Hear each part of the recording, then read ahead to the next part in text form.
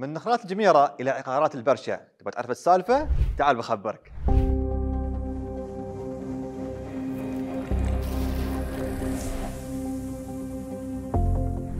من آلاف السنين وشجرة النخيل لها قيمة تاريخية عند أهل الإمارات ومزارع النخيل على اختلاف الأزمنة كانت تشكل مصدر رزق لسكانها. وقبل أكثر من 100 عام انتقل خلفان بن مبارك بن حويرب للعيش في منطقة جميرة بدبي. وكان من أوائل قاطنيها وزرع فيها عدد كبير من أشجار النخل وحرص على رعايتها والعناية بها مع أنجاله ومعاونيه. وفي هذاك الوقت كان كل من يزرع أرض يمتلكها. وبنى خلفان بن مبارك بن حويرب مسجد من العريش ومجلس فور وصوله إلى منطقة جميرة الثالثة وتولى إمامة مسجده في البداية.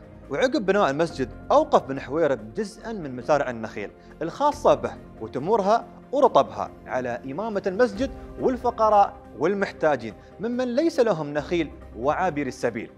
ويوم بدأ التنظيم العقاري في إمارة دبي وقع وقف نخيل بن حويرب ضمن مناطق التنظيم السكنية فتم تعويض قيمة الوقف بعقار في منطقة البرشا تكفلت أوقاف دبي بتشييده وإنجازه.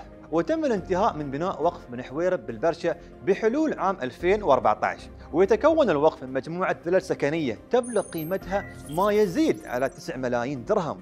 يعود ريع الوقف لمصرف الشؤون الإسلامية للعناية بالمساجد ومصرف عموم الخير اللي يعني بالفقراء والمساكين.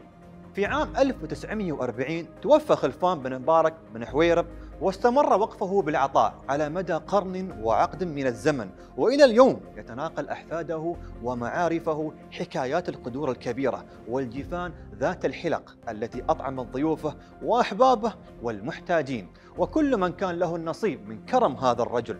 رحم الله بن حويرب الذي أكرم الفقراء المحتاجين في حياته وبعد مماته.